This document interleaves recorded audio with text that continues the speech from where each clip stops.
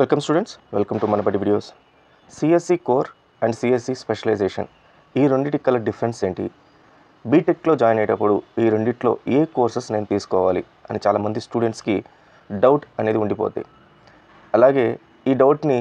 చాలామంది వాళ్ళ రిలేటివ్స్ దగ్గర లేకపోతే ఫ్రెండ్స్ దగ్గర మెంటార్స్ దగ్గర ఎక్స్పర్ట్స్ దగ్గర క్లారిఫికేషన్ కోసం అప్రోచ్ అవుతుంటారు సో అలాంటి స్టూడెంట్స్ అండ్ పేరెంట్స్ కోసమని ఈ కంప్లీట్ వీడియో ఉంటుంది ఈ కంప్లీట్ వీడియోని త్రీ పార్ట్స్గా డివైడ్ చేయడం జరిగింది ఫస్ట్ పార్ట్లో అసలు సిఎస్సి స్పెషలైజేషన్లో ఏ ఏ కోర్సెస్ ఉంటాయి సిఎస్సి అంటే ఏంటి అని చెప్పడం జరుగుతుంది సెకండ్ పార్ట్లో ఎగ్జాంపుల్తో సిఎస్సిని సిఎస్సి స్పెషలైజేషన్ని బెనిఫిట్స్ అండ్ ఫీచర్స్ చెప్పడం జరుగుతుంది అండ్ థర్డ్ పార్ట్లో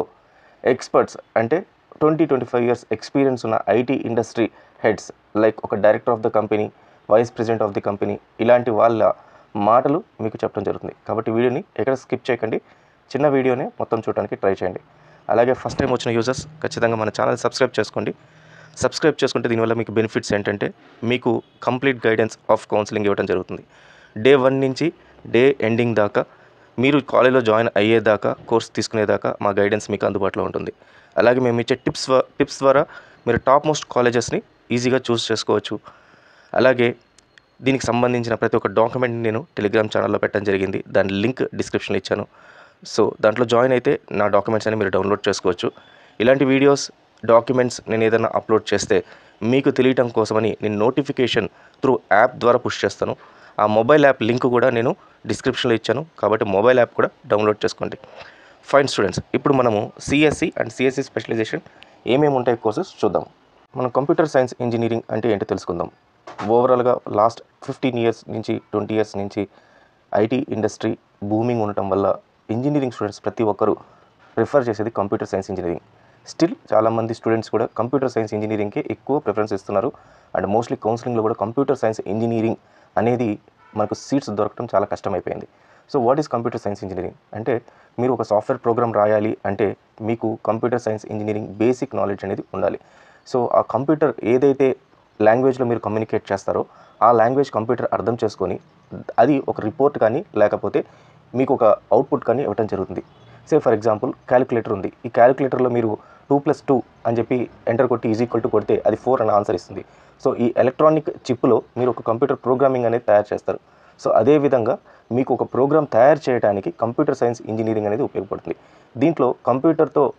మాట్లాడటానికి కమ్యూనికేట్ చేయడానికి డిఫరెంట్ డిఫరెంట్ లాంగ్వేజెస్ ఉంటాయి ఉదాహరణకి జావా సీషార్ డాట్ నెట్ ఈ రకంగా ప్రతి ఒక్క లాంగ్వేజెస్ అన్నీ కూడా కంప్యూటర్తో కమ్యూనికేట్ చేస్తాయి సో ఇలాంటి ఒక బ్రాడ్ స్పెక్ట్రమ్ని అన్ని లాంగ్వేజెస్ని మీకు కంప్యూటర్ సైన్స్ ఇంజనీరింగ్లో నేర్పిస్తారు so first four years of ఈ కోర్స్లో మీకు ఫస్ట్ టూ ఇయర్స్ ప్రతి ఒక్కరికి కూడా కామన్గా ఉంటుంది థర్డ్ ఇయర్ అండ్ ఫోర్త్ ఇయర్కి సంబంధించి సమ్ మీ కంప్యూటర్ సైన్స్ ఇంజనీరింగ్లో మెయిన్ లాంగ్వేజెస్ ఏముంటాయి ఈ లాంగ్వేజెస్ని ఎలా మనం నేర్చుకోవాలి ఇవి కంప్యూటర్తో ఎలా కమ్యూనికేట్ చేస్తాయి కంప్యూటర్ మీకు ఎలా రెస్పాన్స్ ఇస్తుంది అనే విధంగా మీకు ఒక బేసిక్ నాలెడ్జెస్ అని నేర్పిస్తారు మరి ఈ లాంగ్వేజెస్ అని ఎవరు తయారు చేశారు మేము కూడా లాంగ్వేజెస్ తయారు చేయొచ్చా అంటే ఎస్ లాంగ్వేజెస్ అని మీరు కూడా తయారు చేయొచ్చు ఫర్ ఎగ్జాంపుల్ ఆపరేటింగ్ సిస్టమ్ ఒక కంప్యూటర్ ఆపరేటింగ్ సిస్టమ్ పైన నడుస్తుంది విండోస్ కానీ మ్యాక్ కానీ ఇవన్నీ కూడా ఆపరేటింగ్ సిస్టమ్ అంటారు మొబైల్ తీసుకుంటే ఆండ్రాయిడ్ అనేది ఒక ఆపరేటింగ్ సిస్టమ్ దీన్ని ఆల్రెడీ వీళ్ళు కూడా ఒక సాఫ్ట్వేర్ యూస్ చేసి కంప్యూటర్ లాంగ్వేజ్ యూజ్ చేసి ఈ ఆపరేటింగ్ సిస్టమ్ని తయారు తయారు చేయడం జరిగింది సో ఈ ఆపరేటింగ్ సిస్టమ్ ద్వారా ఈ కంప్యూటర్ అనేది మనతో కమ్యూనికేట్ చేస్తుంది కాబట్టి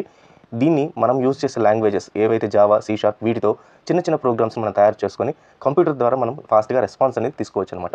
మరి ఈ బేసిక్ నాలెడ్జ్ ఉన్న కంప్యూటర్ ఈ బేసిక్ నాలెడ్జ్ కంప్యూటర్ సైన్స్ ఇంజనీరింగ్లో వీళ్ళకి నేర్పించడం జరుగుతుంది మరి కంప్యూటర్ సైన్స్ ఇంజనీరింగ్ చేసిన స్టూడెంట్కి ఎలాంటి జాబ్స్ వస్తాయంటే ఐటీ ఇండస్ట్రీలో సాఫ్ట్వేర్ సంబంధించి కంప్యూటర్ సైన్స్ ఇంజనీరింగ్ ఉన్న వాళ్ళకి ఫస్ట్ ప్రిఫరెన్స్ ఇవ్వడం జరుగుతుంది సో ఇది సిఎస్సికి సంబంధించి బట్ దీని ఫ్యూచర్ ఎలా ఉంటుందనేది నెక్స్ట్ కమింగ్లో చెప్తాను then coming to artificial intelligence and ఇప్పుడు చెప్పే ప్రతి ఒక్క కోర్సు కంప్యూటర్ సైన్స్ ఇంజనీరింగ్లో స్పెషలైజేషన్ అంటే ఈ కోర్సు బేసిక్ నాలెడ్జ్ కాకుండా కొంచెం అడ్వాన్స్డ్గా మనము ఒక పర్టికులర్ లాంగ్వేజ్ కానీ లేకపోతే దాంట్లో ఉన్న ఇంపార్టెంట్ టాపిక్స్ అని నేర్చుకొని దాని ద్వారా దానికి సంబంధించిన ప్రోగ్రామ్ని తయారు చేసేదాన్ని మనం కంప్యూటర్ సైన్స్ స్పెషలైజేషన్ అని చెప్పి అంటాం దాంట్లో ఆర్టిఫిషియల్ ఇంటెలిజెన్స్ అనేది ఒకటి ఆర్టిఫిషియల్ ఇంటెలిజెన్స్ అంటే హ్యూమన్ అంటే మనుషులు ఎలా అయితే ఆలోచిస్తారో ఆ రకంగా సిస్టమ్స్ కూడా ఆలోచించి అవి ఆటోమేటిక్గా వాటి పని అవి చేసుకుంటూ వెళ్తుంటాయి ఫర్ ఎగ్జాంపుల్ మీరు స్పీచ్ రికగ్నిషన్ అంటే మీరు ఒక ఫోన్తో లేకపోతే అలెక్సాతో మీరు మాట్లాడినప్పుడు ఒక కమాండ్ ఇచ్చినప్పుడు అది ఆటోమేటిక్గా ఆ పని చేయడం మొదలు పెడుతుంది లేదా ఒక ఆన్సర్ ఇవ్వడం మొదలు పెడుతుంది గూగుల్లో మీరు స్పీచ్ రికగ్నిషన్ టూల్ని యూజ్ చేసి మీరు గూగుల్ సర్చ్ కీవర్డ్ ఏదైనా సరే నోటి ద్వారా చెప్పడం ద్వారా అది గూగుల్ ఆటోమేటిక్గా మీకు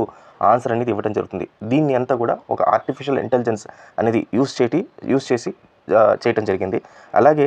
మన ఫేస్ రికగ్నిషన్ టూల్స్ కానీ ఇవన్నీ కూడా artificial intelligence so next coming అంతా కూడా ఆర్టిఫిషియల్ ఇంటెలిజెన్స్ అంటే ఆర్టిఫిషియల్ ఇంటెలిజెన్స్లో సిస్టమ్స్ కానీ లేకపోతే కంప్యూటర్స్ కానీ రోబోట్స్ కానీ అవంతటా అవే ఆలోచించి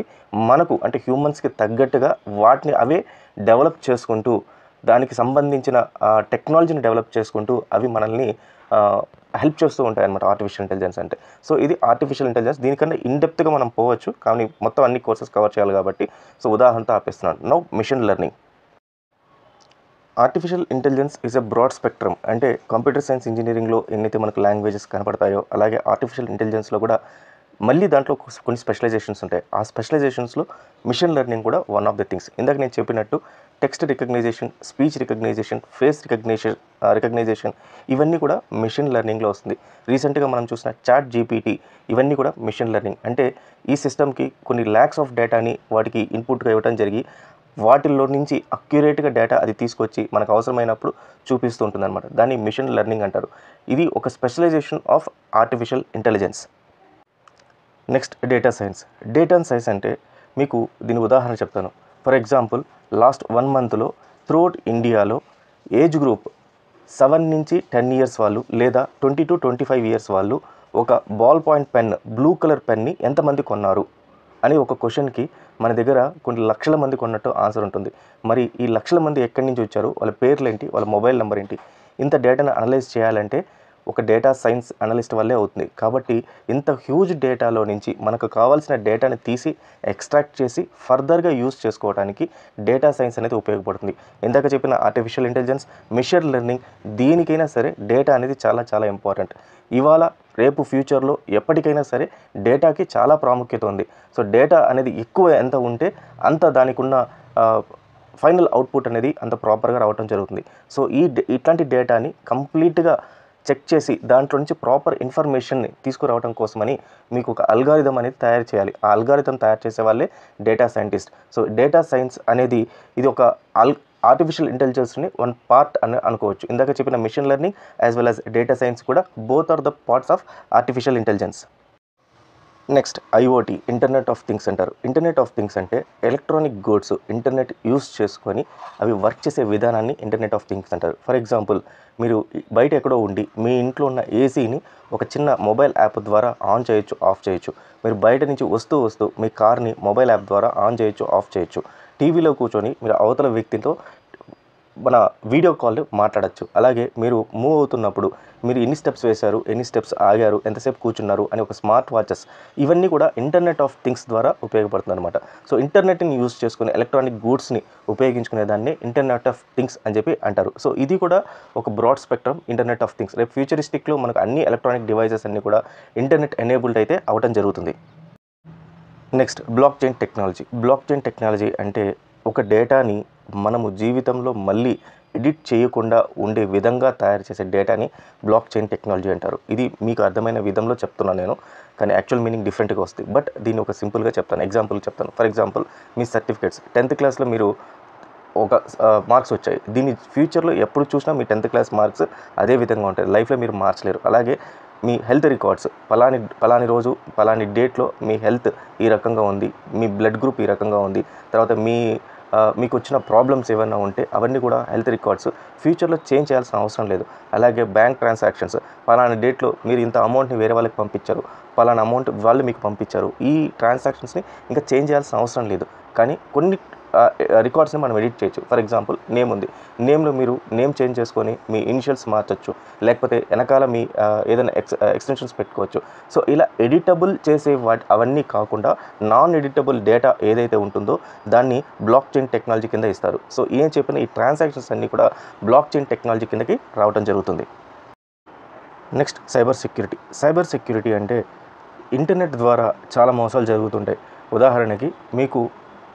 మీ సిస్టమ్ని అంటే మీ బ్యాంక్ ట్రాన్సాక్షన్ని ఒక యూజర్ మీ మొబైల్లో మీకు తెలియకుండా ఒక చిన్న కోడ్ ద్వారా మీ ట్రాన్సాక్షన్స్ అన్నీ కూడా అతను చేయొచ్చు అనమాట సో దీనికి ఒక మాలిషియస్ సాఫ్ట్వేర్ కానీ లేకపోతే వాళ్ళు ఒక కోడ్ కానీ తయారు చేసి మీ సిస్టమ్స్లో లేకపోతే మీ మొబైల్స్లో ఇంజెక్ట్ చేయడం జరుగుతుంది సో ఇలా దీని అన్నింటిని కూడా అటాక్ అని చెప్పి అంటారు ఇలా కాకుండా కొన్ని బల్క్గా ఉంటాయి ఫర్ ఎగ్జాంపుల్ మీ బ్యాంక్ ఏదైతే ఉంటుందో ఆ బ్యాంక్ సర్వర్స్ పైన వీళ్ళు కొన్ని కోడ్ యూజ్ చేసి దాంట్లో డేటా మార్చి పలాని యూజర్ అంటే పలాని వ్యక్తి ఇంకొక వ్యక్తికి లక్ష రూపాయలు కాదు కోటి రూపాయలు ఇచ్చాడు అనే ఒక చిన్న డిజిట్స్ని మార్చచ్చు అనమాట సో ఇలా మార్చకుండా వాటిని ప్రొటెక్ట్ చేసి ప్రొటెక్ట్ చేసేదాన్ని సైబర్ సెక్యూరిటీ అంటారు ఈ సెక్యూరిటీ అనేది చాలా విధాలుగా ఉంటుంది నెట్వర్క్ సెక్యూరిటీ అంటే ఇంటర్నెట్ ద్వారా జరిగేదాన్ని అప్లికేషన్ సెక్యూరిటీ అంటే అప్లికేషన్ ద్వారా లోపలికి వెళ్ళి మీ డేటా చేంజ్ చేయకుండా ఉంటుందని ఇన్ఫర్మేషన్ సెక్యూరిటీ అంటే మీ ఇన్ఫర్మేషన్ బయటికి పోకుండా ఆపేదాన్ని సో ఈ రకంగా డిఫరెంట్ టైప్ ఆఫ్ సెక్యూరిటీస్ అన్నీ కూడా మీరు ఒక ప్రోగ్రామ్ ద్వారా చేయాలి ఎగ్జాంపుల్ ఒక antivirus software is a cyber ఈ సైబర్ సెక్యూరిటీ కింద మనం కన్సిడర్ చేయొచ్చు అనమాట సో సైబర్ సెక్యూరిటీ ఇంటర్నెట్ నుంచి మనకి అటాక్స్ రాకుండా కాపాడేదని సైబర్ సెక్యూరిటీ అంటారు ఈ కోర్సులో సంబంధించి కంప్లీట్గా సైబర్ సెక్యూరిటీ రిలేటెడ్ ఇన్ఫర్మేషన్ అనేది దాన్ని ఎలా తయారు చేయాలి ప్రోగ్రామ్స్ మిగతా హ్యాకర్స్ని మనం ఎలా అడ్డుకోవాలి అనేది సైబర్ సెక్యూరిటీలో నేర్పడం జరుగుతుంది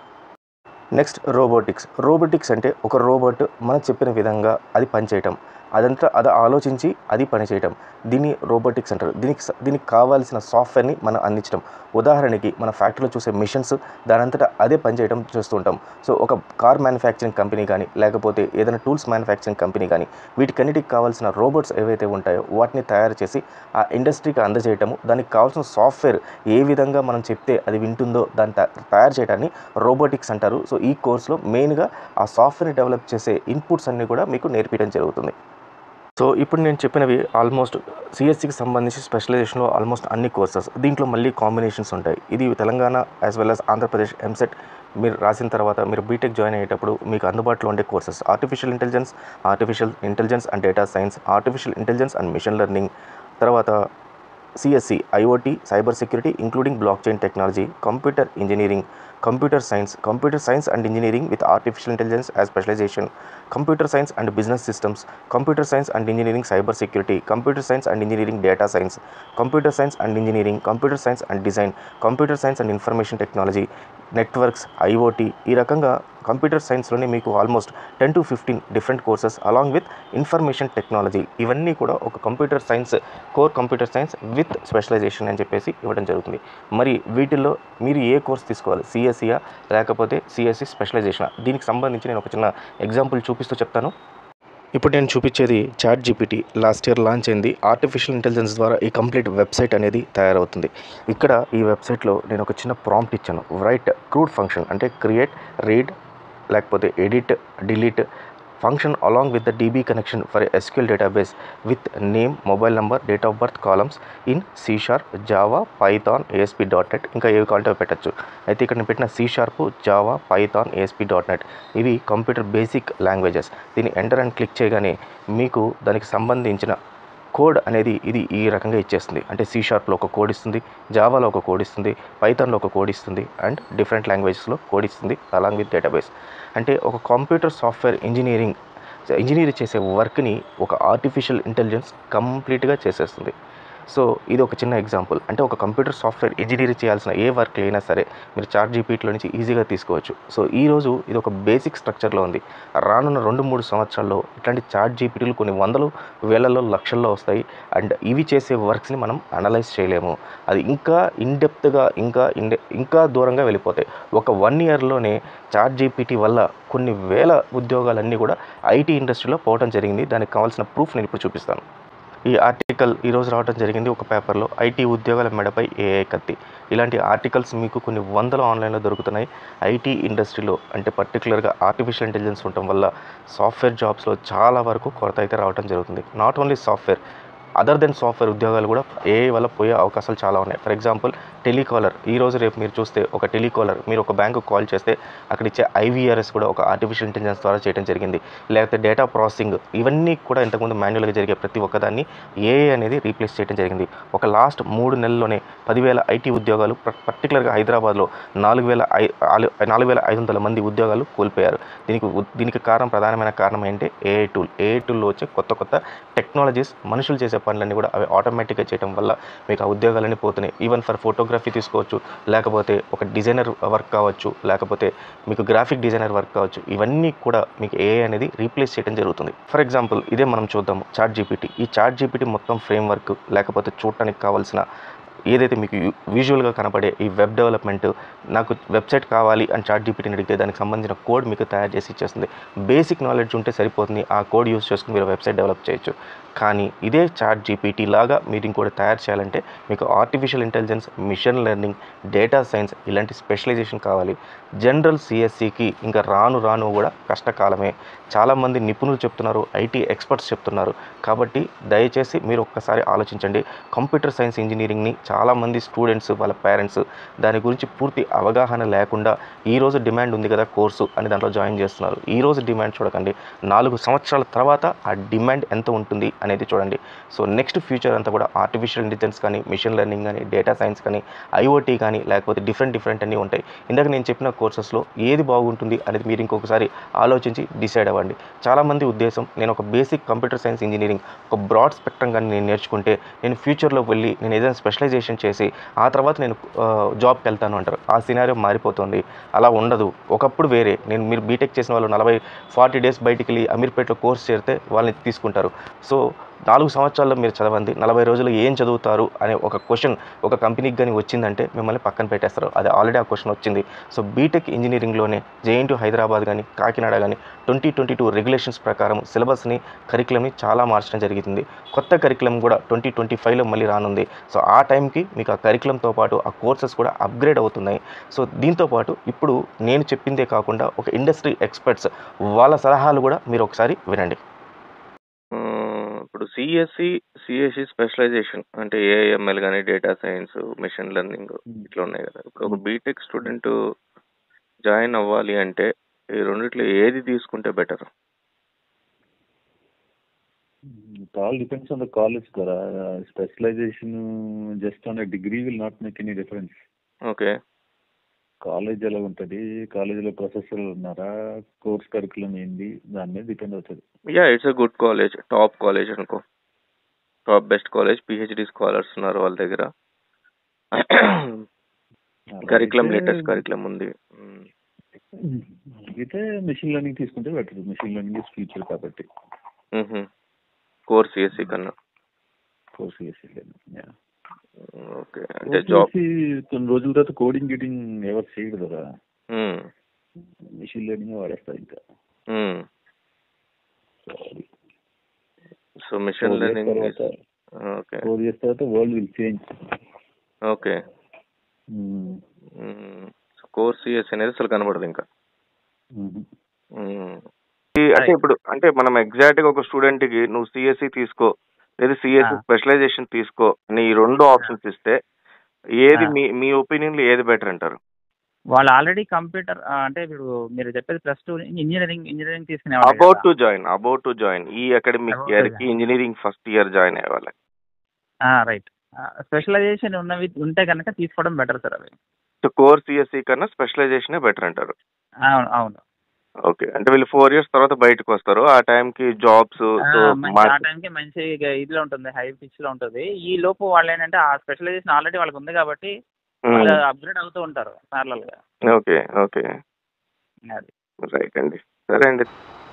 సో విన్నారు కదా students so computer science engineering and computer science స్పెషలైజేషన్స్లో వేటి వేటికి ఏ ప్రాముఖ్యత ఉందని రేపు ఈరోజు మనం చదివే చదువుకున్నారు రేపు ఫోర్ ఇయర్స్ తర్వాత మనకు వచ్చే జాబ్స్ అనేది చాలా ఇంపార్టెంట్ దానికి సంబంధించిన కోర్సెస్ ఈరోజు చేయటం మనం చాలా చాలా ఇంపార్టెంట్ అది దృష్టిలో ఉంచుకోండి అలానే కంప్యూటర్ సైన్స్ ఇంజనీరింగ్ వేస్ట్ అని నేను చెప్పట్లేదు ప్రతి ఒక్క కోర్స్కి దానికి ఒక ప్రాముఖ్యత ఉంటుంది కానీ మనం ఫ్యూచర్ను ఆలోచించి ఈరోజు మనం స్పెండ్ చేసే ప్రతి ఒక్క రూపాయి మనకు ఫ్యూచర్లో కెరీర్ని ఎస్టాబ్లిష్ చేయడానికి ఉపయోగపడాలి కాబట్టి దాన్ని ఆలోచించి మీరు స్పెషల్ స్పెషలైజేషన్ని జాగ్రత్తగా ఎంచుకోండి ఇన్ కేస్ ఇంకా ఫర్దర్గా మీకు డౌట్స్ ఏదైనా ఉన్నా లేదా నేను చెప్పింది కరెక్ట్ కాదని మీకు అనిపించినా ఖచ్చితంగా కామెంట్ సెక్షన్లో అయితే కామెంట్స్ పెట్టండి so all the best students thank you very much